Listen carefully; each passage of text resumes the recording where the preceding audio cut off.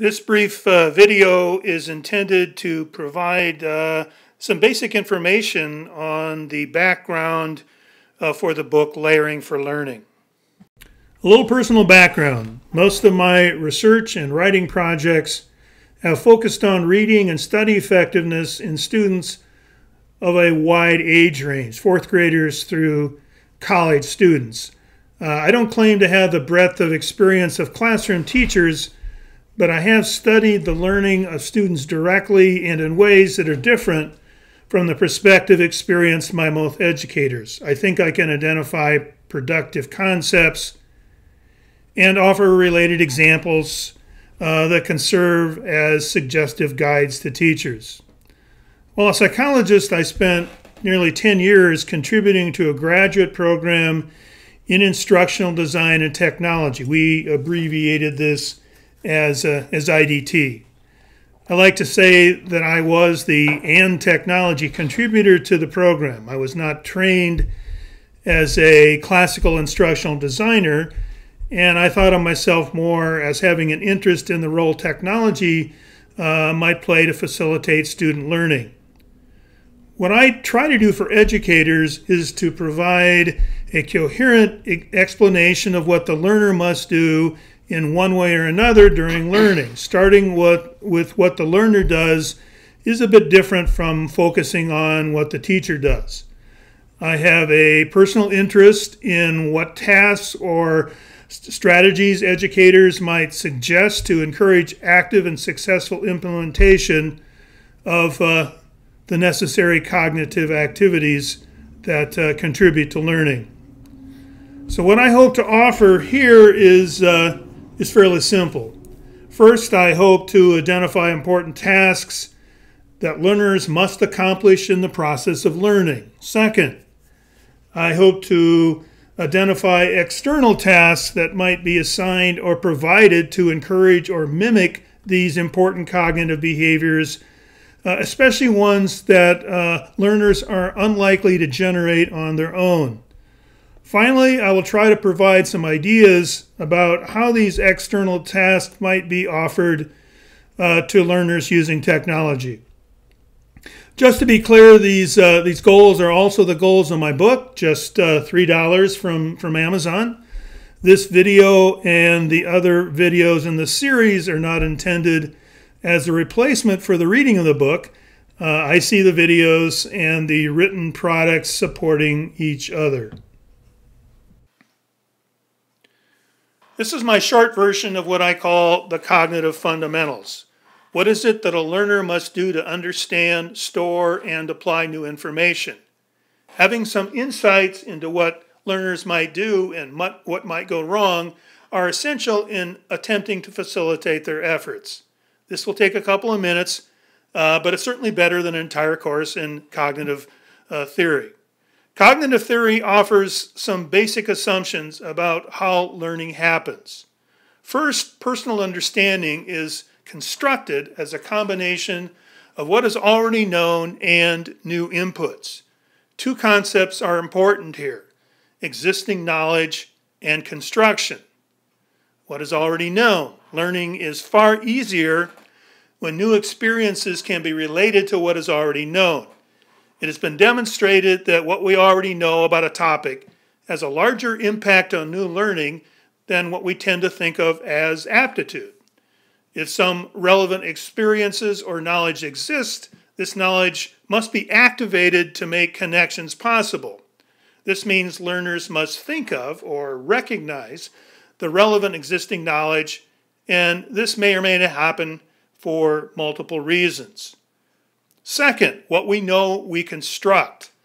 The notion of construction implies that understanding and retention require cognitive action. We take cognitive or mental action to build what might be convenient to describe as models.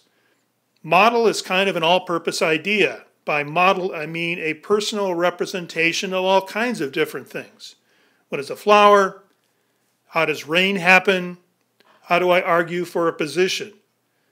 When I claim activating existing knowledge or model is important, I mean in many situations we have relevant existing models, and recognizing this existing content offers great advantage. New information may extend or conflict with these existing ideas, so it's important to constantly use new experiences to build toward more sophisticated and accurate models. Construction should not be thought of as a single type of action. Rather, uh, than attempt to, to identify the many actions that may be involved, I'm going to try to keep things uh, a little more simple. Uh, finally, learning involves control and adjustment. Uh, first, the actions of thinking are under the control of the learner, and second, an important factor in the exercise of this control is based on whether the actions that have been implemented have been successful. Control and adjustment are often described together as metacognition, which involves kind of looking at and thinking about and directing your own thinking. Control applies that thinking is directed by purpose and by knowledge of self and task. Individuals will differ in the knowledge they can apply to exercise this control. What does the task I am trying to accomplish require? What makes this task difficult? How well do my existing skills and knowledge prepare me to take on this task? Adjustment come into play when the actions of thinking are implemented. Monitoring of the success of such actions reveal when the actions fail, and recognition should trigger attempts to fix things up. For example, when we read, we often misunderstand something. This happens to all readers, and the solution is usually quite simple we will read the content uh, that has been confusing or perhaps ask someone else for, assi- uh, for assistance. The key to such fix ups is the recognition of the confusion in the first place. Some tolerance of failure is actually important. If a cognitive skill, such as reading comprehension, were to proceed so, so, so slowly that no misinterpretation of phrases or sentences ever occurred, the information would come in so slowly that keeping track of these ideas um, would be nearly impossible. In many cognitive skills, we must go fast and then fix our mistakes. It might be helpful to collectively describe the various cognitive actions I reference as uh, being made up of thinking behaviors. Cognitive construction results from thinking. The notion that thinking must occur for learning and retention uh, is not trivial. It sounds uh, simple, uh, but it you know there's it's really something of substance here. Uh, we typically accept that thinking is active and motivated. Mental activity is happening when we think, but such actions may or may not happen depending on whether a specific kind of thinking skill has been developed and whether or not a learner makes the effort to apply the necessary thinking skills. I believe considering what thinking involves is important for educators and for learners themselves. And a cognitive perspective allows the mental behaviors of thinking to be made uh, less abstract. Often, um, we describe abstractions in terms of analogies. One way to deal with the abstract idea of thinking skills is to suggest that such skills are like something else we already know um, that's, that's tangible for us and, uh, and familiar. This is what I mean by using analogies to understand abstract and difficult to, to, to, to describe phenomena. For example, model building would be an analogy. Creating a summary is often used as an analogy for boiling a lot of information down into a model. Summarization, therefore, uh, would, would be an analogy for model building. Uh, imagining applications or possible examples would be analogies for mental actions that involve using an existing model to find new connections uh, of an existing model and, uh, and life experiences. So um, we're not saying these actions are exactly the same as cognitive behaviors but they are, sim- they are similar enough to give us some insight into what uh, important cognitive behaviors might be. Before moving on, I want to raise an important point. uh, which you may have already anticipated. The idea of analogies for mental actions can serve multiple purposes. To this point, I have used the concept of an analogy to try to make something quite abstract into something more concrete. Uh, the actions of cognition work something like this and this and this. Here are analogies for how cognition works. Since learning and thinking are biological processes, the analogy does not explain exactly how learning and thinking happen, but the analogy does establish a way to communicate uh, when we're trying to consider such important topics. Uh, in many cases, and this is my point here, analogies provide something more. When the analogy involves a tangible external task, um, involving a learner in such a task seems a logical way to encourage the actual and related cognitive activity of interest. Um, these analogies may suggest tasks that facilitate learning. So, for example, if creating a mental model explain, is explained as summarizing a set of experiences, asking a learner to create a summary would seem a possible way to encourage the necessary mental model creation. We can use external tasks to encourage thinking behaviors. This idea of using external tasks to encourage cognitive tasks is important in the perspective taken here. Educators might not use the terminology I'm using, but educators are constantly engaging learners with such external tasks. So some of these ideas may be more familiar uh, than would first seem to be the case. My favorite example of using an external task to encourage thinking is the use of questions. Teachers are certainly familiar with the use of questions they ask hundreds a day. Students can ask each other questions and can even ask questions of themselves. Questions are an important part of education in general. Consider using a question to encourage various desired types of thinking behavior, an external task to encourage uh, an internal behavior. If you want to activate existing knowledge, you might ask questions about past experiences at the beginning of a lesson. If you want to encourage the monitoring functions of metacognition, you might provide learners questions they can, they can attempt to answer um, as or after they read.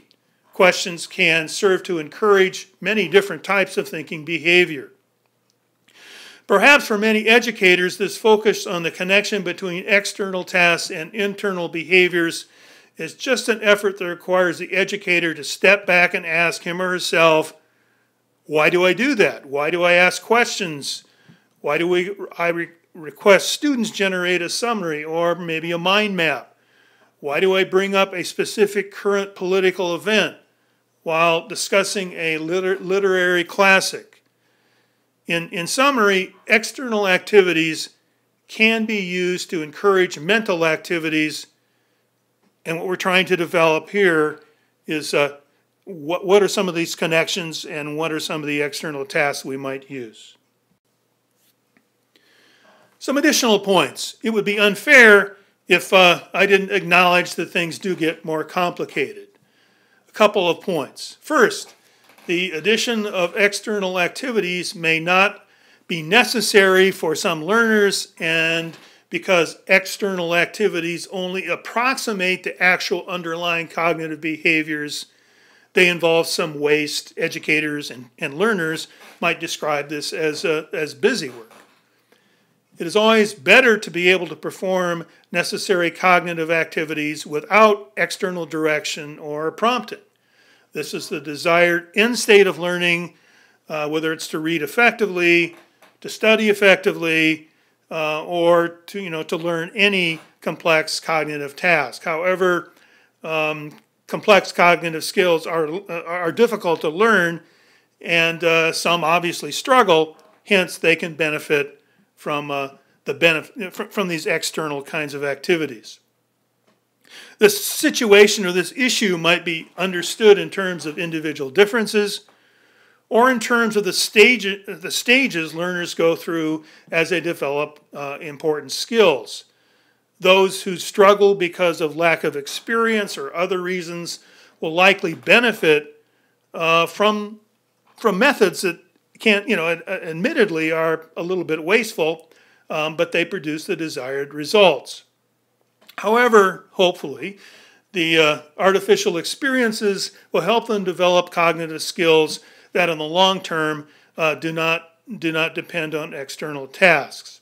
I admit that uh, this situation is a dilemma for educators working in real uh, circumstances. What do you do when working with a group of students, some of whom would benefit and some who do, who do not need an external activity uh, to, to, pro- to process the learning content uh, effectively?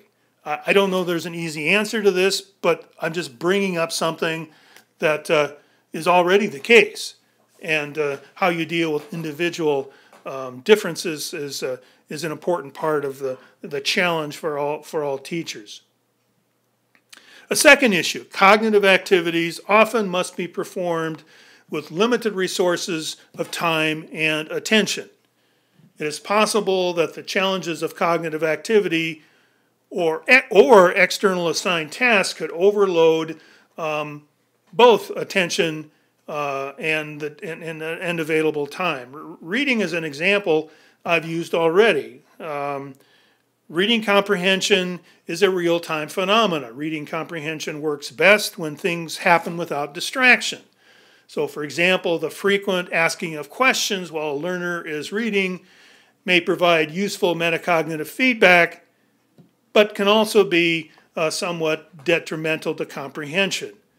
Um, most of us in, in reading have learned to recognize naturally occurring failures uh, simply because we track whether things are making sense. Comprehension itself becomes a cue for whether action is required. Um, this, unfortunately, is not the case in all readers, and uh, uh, kind of a serious uh, and ironic problem for many readers is that those readers who struggle the most also are the, the readers who have less effective means of, of monitoring the moment by moment success of their own efforts. Um, so, again, on a situational and individual basis, external tasks may be helpful. Um, so, a simple commitment to add external tasks is not the desired course of action here. If it were possible, the best solution would be to identify the needs of individual learners and add external tasks suited to the specific needs of these learners. More long term, uh, the goal should be to offer learners strategies for applying external tasks on their own.